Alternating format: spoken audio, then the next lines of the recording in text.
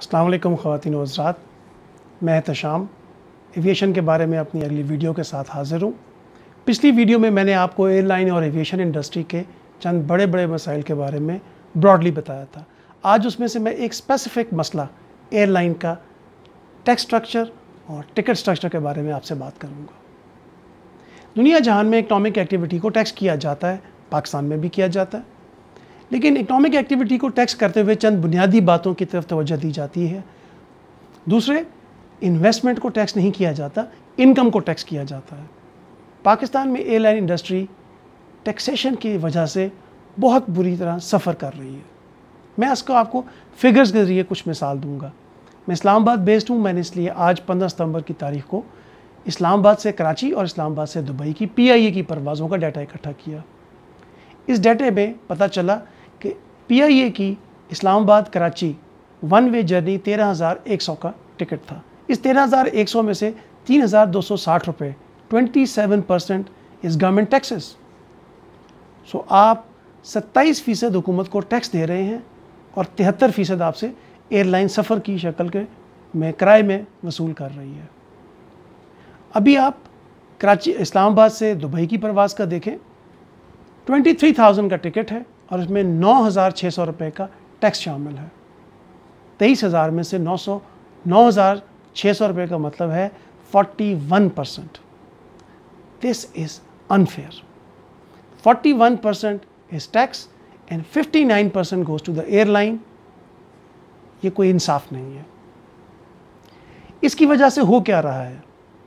हो ये रहा है कि पाकिस्तान में एयर जर्नी वैसे भी लग्जरी की शक्ल बन चुका है। कम लोग एयर जर्नी करते हैं।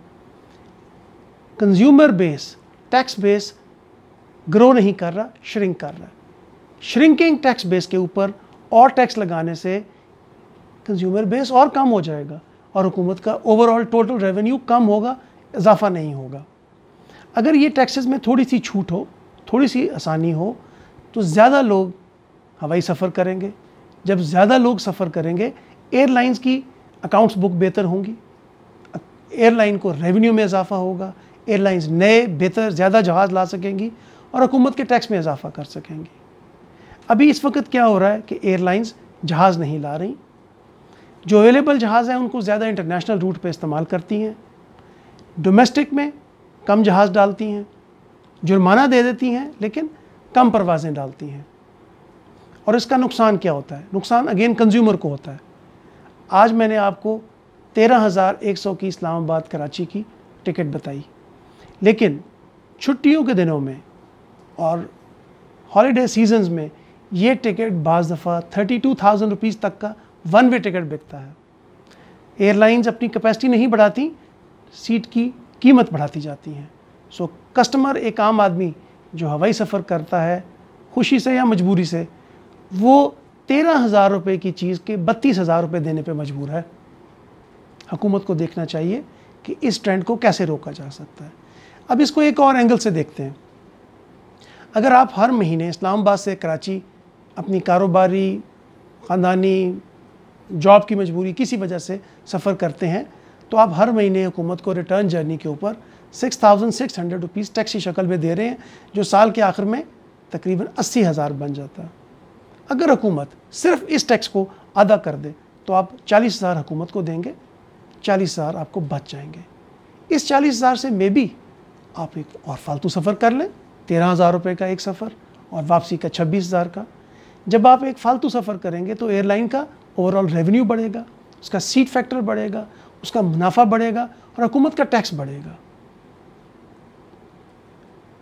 एक और गौर करने की चीज़ ये है कि जब टिकट के ऊपर हुकूमत टैक्स वसूल कर रही है, जो कि कंजम्पशन है तो एक शख्स जिसकी आमदन पचास हज़ार है, उससे भी तीन हज़ार दो सौ साठ रुपया लिया जा रहा है और जिस शख्स की आमदन पाँच लाख रुपया महीना है उससे भी three thousand two hundred and sixty rupees वसूल किए जा रहे हैं विच इज़ वेरी अनफेयर नुकसान उस शख्स का है जिसकी आमदन पचास हज़ार है।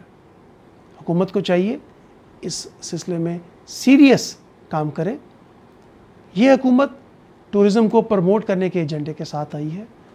ट्रैवल टूरिज़्म का एक बुनियादी कंपोनेंट है। अगर ट्रैवल में आसानी होगी ट्रैवल चीपर होगा तो हमारी एयरलाइंस का रेवेन्यू बढ़ेगा। हमारी एयरलाइंस इस वक्त बहुत बड़ी मुश्किल का शिकार हैं कि उनको गल्फ़ कैरियर्स का मुकाबला पड़ना करना पड़ रहा है। हकूमती इंसेंटिव और सपोर्ट के बगैर वो ये मुकाबला हार जाएँगी। हमारी डोमेस्टिक एयर इंडस्ट्री तबाह हो जाएगी। मुझे उम्मीद है वो लोग जो इस सिलसिले में पॉलिसी बना सकते हैं, वो एयरलाइंस के लिए आसानी का काम करेंगे। Thank you very much